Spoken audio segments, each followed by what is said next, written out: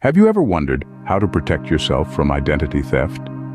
Well, it involves a combination of proactive measures to safeguard personal information and mitigate the risk of unauthorized use of sensitive data.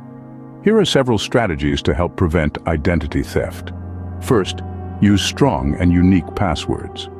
Make sure to create complex passwords for online accounts, combining upper and lowercase letters, numbers, and special characters. Avoid using easily guessable information like birth dates or names. A reputable password manager can assist in generating and storing passwords securely. Second, enable two-factor authentication or 2FA wherever possible. This additional layer of security requires not just a password, but also a second form of verification, such as a code sent to your phone. Third, make it a habit to regularly monitor your financial accounts. Keep an eye on bank statements, credit card accounts, and credit reports. Report any suspicious or unauthorized transactions immediately to your financial institution. Fourth, always secure your personal information. Avoid sharing sensitive details such as social security numbers, financial details, or personal identifiers unless absolutely necessary. Be cautious when sharing information online or over the phone, especially with unknown entities. Fifth, Make sure to shred personal documents before throwing them away.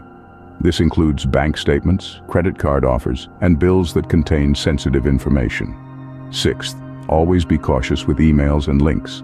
Avoid clicking on suspicious links or downloading attachments from unknown or untrusted sources. Remember, phishing emails often impersonate legitimate entities to trick you into revealing sensitive information. Seventh, use a secure internet connection.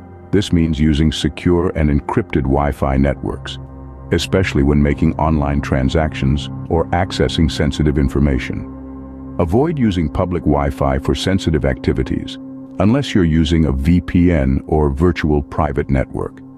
Eighth, regularly update your software and operating systems. Keep your computer, mobile devices and applications up to date with the latest security patches and updates. This helps protect against known vulnerabilities that attackers might exploit. Ninth, be careful with personal devices. Secure your devices with passcodes or biometric authentication. Avoid leaving devices unattended in public places and ensure they are locked when not in use. And finally, consider identity theft protection services. These are offered by reputable companies that monitor credit reports, provide alerts for suspicious activity, and offer identity theft insurance.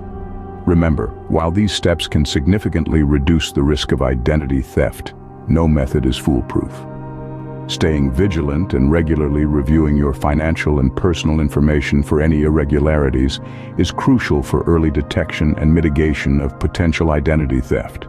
So stay alert, stay safe, and protect your identity. Remember, while these steps can significantly reduce the risk of identity theft, no method is foolproof. Staying vigilant and regularly reviewing your financial and personal information for any irregularities is crucial for early detection and mitigation of potential identity theft. So stay alert, stay safe, and protect your identity.